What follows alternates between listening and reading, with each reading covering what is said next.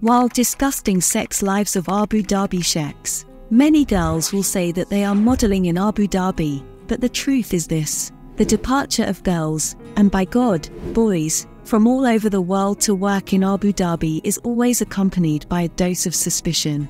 Although modeling is cited as the most common reason for their departure, most often it is about selling their bodies. We all know that selling bodies, homosexuality, adultery, and the like are officially prohibited in this part of the world, but the facts say otherwise. Abu Dhabi has long since become one of the main cities for the sale of intimacy in the Middle East. In Abu Dhabi, you can find concubines of literally all nations, races, both sexes are engaged in the oldest craft, and we can often hear about various fetishes and perversions that are loved by rich sheikhs, but also by tourists who come from different countries in search of luxury but often also to live.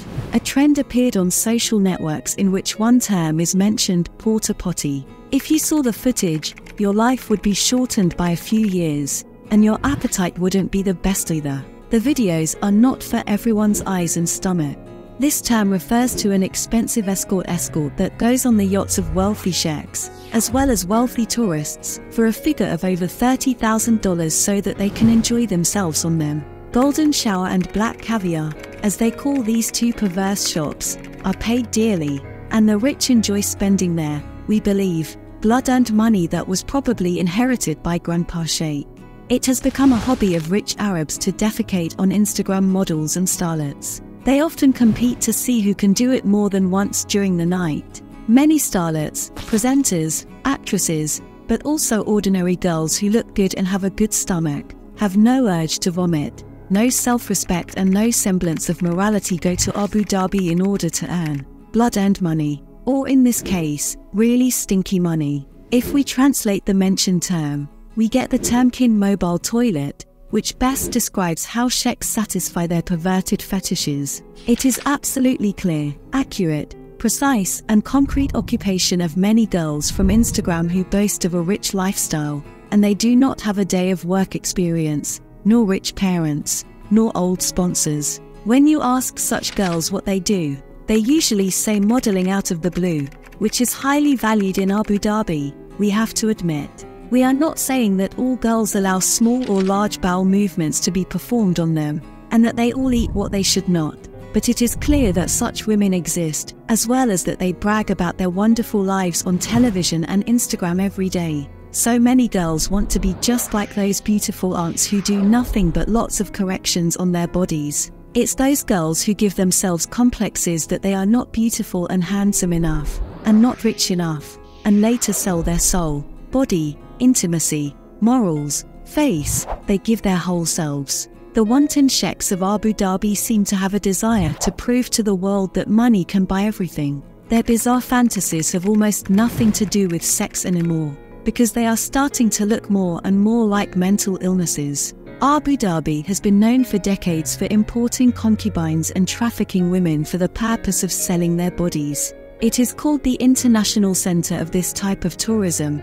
Although this type of work is illegal in the UAE, women are forced into the oldest trade in two ways. Those who are directly trafficked to sell their bodies are lured to the UAE with promises of positions as secretaries, masseuses, or domestic helpers. Their compatriots are usually the ones who manage the trade in women because they give them security. They often share positive stories about life in the United Arab Emirates before luring women into the circles of the oldest craft. Some women, usually domestic helpers, are trafficked after escaping from their abusive employers. The parties of sheikhs and Arab rich people cost a fortune, and regularly end in orgies and bacchanalia that people with weaker stomachs cannot bear. Parties and parties of rich Arabs occupy a special place on the scale of disgust and amazement. There is hardly such a long ladder on which the category party of sheikhs and rich Arabs could take its place. As we said, their parties full of orgies, use of drugs, various opiates, and intimate aids regularly end in fatal outcomes, and how could it not be when there is practically nothing to do? Hotels, of course, do not want to cancel the arrangement for guests from the Middle East due to their fabulous income, but some have introduced a surcharge, and some have introduced a deposit, which applies exclusively to orgies and sex in hotel rooms. And why not? However, a concubine revealed a few years ago that she received an unreal amount of money for intimate services that, apart from classic sex, also included other fetish satisfaction. Several rich sheikhs even forced her to shove live salmon in their bottoms to satisfy their fetish. Arabs are the most generous people in the world, to them that money is just paper. With them you can take up to 35,000 euros just for one night. They love going on yachts, and they choose their wives before they go out to sea. There can be up to 10 girls on yachts, usually models, who are naked or half naked. Entertainment is all about drugs, drinking, and intimate relationships with beautiful women.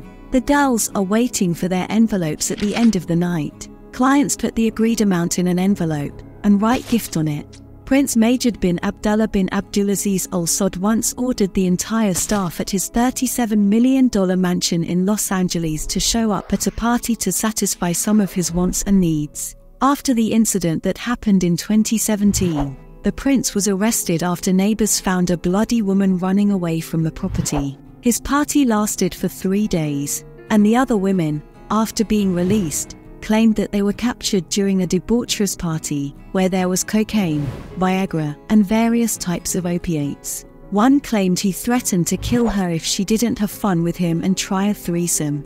Arab kings are accused of forcing their loyal subjects to live according to ultra conservative rules. In secret, they are real hedonists and prefer a lifestyle that includes sex, alcohol, drugs. The requirements are different. Not everyone wants to have fun with a hot blonde with sizzling curves. Some want gay parties and perversions with people of the same sex, then rent a hotel so they can do drugs in peace. This is a paradise for bad boys, and they can forget about reality here. A sheikh wanted 10 concubines in burqas in a tent in the middle of the desert.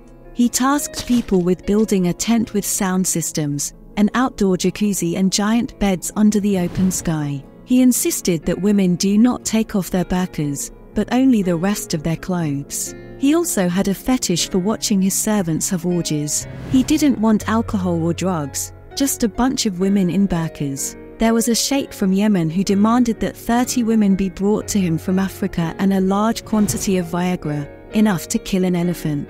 When the client finished, the hotel room looked like a bomb had fallen on it. Girls in Abu Dhabi get as much as $1,000 per hour, and men participating in orgies $500 for the same period. This reveals the hidden and illicit world of Abu Dhabi's wealthy sheikhs and tourists engaging in prostitution, perverse fetishes, and extreme hedonism, contradicting the city's conservative public image. It discusses the prevalence of trafficking women for the sex trade, extravagant parties with drug use and orgies, and disturbing acts of debauchery involving the Arab elite. Despite official prohibitions, Abu Dhabi has become a hub for the sale of intimacy, with various nationalities and backgrounds involved in these activities.